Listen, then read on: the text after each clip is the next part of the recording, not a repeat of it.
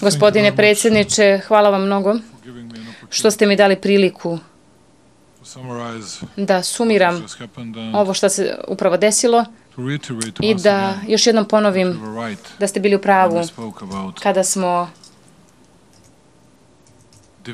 govorili o podelama koje će izazvati ova vrsta rezolucije i koje će, ih, koje će ona naneti ne samo u regionu iz kog ja dolazim, već i ovde u ovom domu.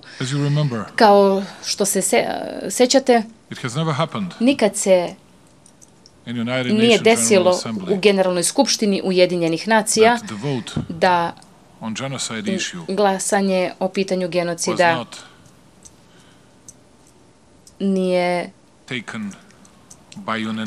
doneto jednoglasno. Nikad se to nije desilo. E, ovo se dešava po prvi put, zato što su neki ljudi hteli da iskoriste svoju veliku političku moć da politizuju ovu važnu temu i to su i učinili. I nema veze koliko smo ih dugo upozoravali da koriste transparentnost i inkluzivnost. i da. To uključuju ceo proces, oni nas nisu slušali. Na kraju, rezultat je sledeći. 84 zemlje su glasale za rezoluciju, a od sedam zemalja koje su ovde bile prisutne nisu glasale za. U bilo kom nacionalnom parlamentu ovakav akt bi bio, ne, ne, ovakav ne bi uspeo. Ovo je jedini, jedino mesto na svetu gde je takav dokument donet. Želeo sam da se osvrnem na nešto što smo ovde čuli. Ljudi iz nekih zemalja su isticali značaj amandmana kao, da citiram, njihov značajan doprinos. To je samo bio značajan doprinos većoj konfuziji.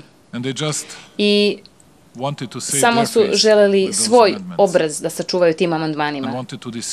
I želeli su da zavaraju neke države članice o pravnoj prirodi ovog pitanja.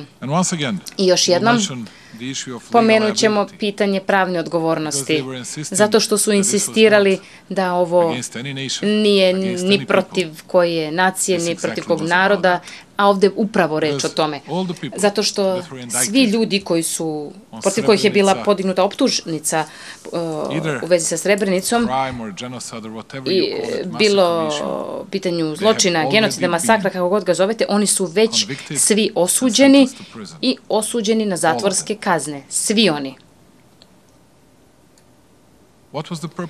A koja je svrha ove rezolucije? Upravo pošto upravo, pošto je doneta rezolucija u 2015. jedina svrha, jedina namera je bila da se stavi, na, stavi moralna i politička krivica na jednu stranu, na jedno, jedan narod.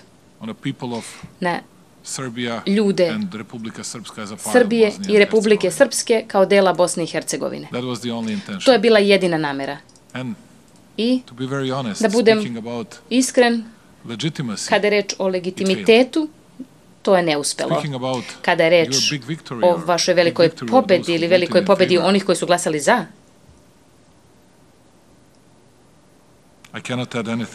Ne mogu, ne bih imao šta drugo da dodam. Želim samo da kažem da ti ljudi koji su želeli da stigmatizuju srpski narod. Nisu uspeli i nikada neće uspeti. Želeli su da stave žig na naše čelo i nisu uspeli i nikad neće uspeti. I ponosan sam što sam danas imao priliku da branim pravo male zemlje da javno i glasno govori protiv onih veoma moćnih, ne vređajući nikoga, bowing my head before the victims, poklonivši se žrtvama, all our mistakes, priznajući i priznavši sve naše greške, sve užasne zločine koje su neki od naših sudnarodnika učinili. But standing here before you, I stojeći ovde pred vama ponosno i kao ponosan i dostojanstven Srbin koji to zna. Prošli smo kroz najteže ratove u istoriji, najviše smo propatili u regionu jugoistočne Evrope, ne samo e, oblasti Balkana kao narod, ali mogu da vas uverim, gospodine predsjedniče, počevši od sutra,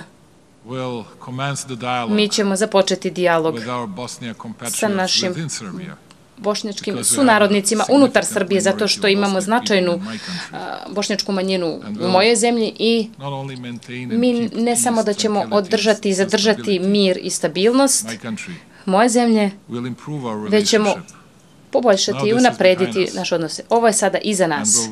i mi ćemo raditi na razvijanju mira i mi ćemo dati naš doprinos tome. I na kraju žela bih da kažem mnogo hvala svima onima koji nisu glasali za ovu rezoluciju. I da kažem hvala svima onima koji su glasali za, otvorili su oči. Hvala svima njima, a naročito mnogo hvala srpskom narodu koji je više nego ikad bio ujedinjen. Ništa nikad ne bi moglo bolje ujediniti srpski narod od onog što se ovde danas dešavalo. Uh, I stojimo snažni i ponosni što smo imali priliku da predstavljamo zemlju hrabrih. Hvala vam mnogo.